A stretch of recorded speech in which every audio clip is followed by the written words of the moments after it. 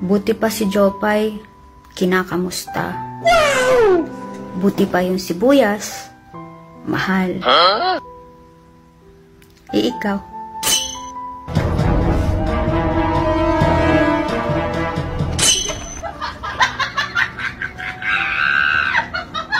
Naghintay ka, no? Ah!